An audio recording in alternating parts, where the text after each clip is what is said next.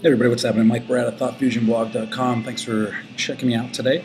Um, thing up front, I will be giving my online presence a facelift thanks to a couple good people that I'm working with. So once um, once that happens, obviously it's going to look a little different.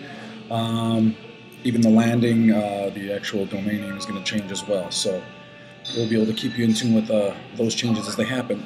The thing I wanted to talk about today is when people discuss uh, different ways of working, or even the results only work environment thing, the, what I'm involved with and changing the world. Whether you want to get on board with it now or later, it's going to happen.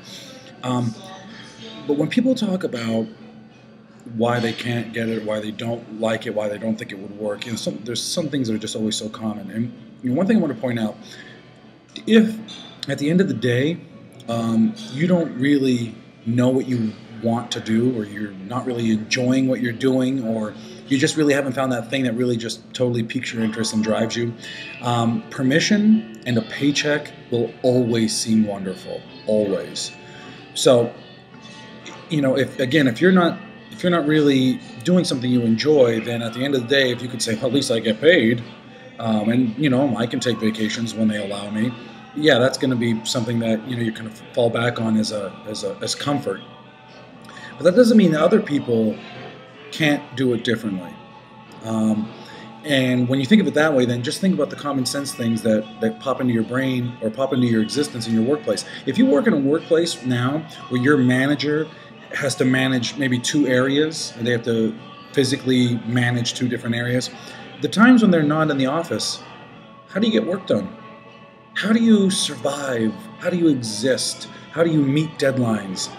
So if your manager who's supposed to manage you isn't physically present every time that you're in the office, then what's the real reason that you need to physically physically be in the office?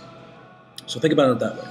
Um, and then just think about when managers go on vacation or when managers are out sick. How do you get things done? The other thing is when you think about giving people the opportunity to focus on achieving results versus a schedule ask yourself, why do you have to be in the office at 8 o'clock or 9 o'clock? Why do you have to be there? What's the business reason? And if you can't get beyond, well, that's just the way it is, that's the way um, they want it, that's their hours or whatever, that's not really a good reason in terms of focusing on the results of the business. And also think about it this way internet access is internet access. Um, and you can set up all the securities you want. Um, to have in place so you don't have to worry about the threats that are out there. Um, but even when you're sitting in the office, the potential for threats exists. Okay, so these are just a couple things to think about when you have that discussion about can I work differently. If it's something that you want to do, then I would always say have these common sense conversations. Always remember to breathe though, because chances are, even though you're full throttle common sense, the person across from you, bizarre world.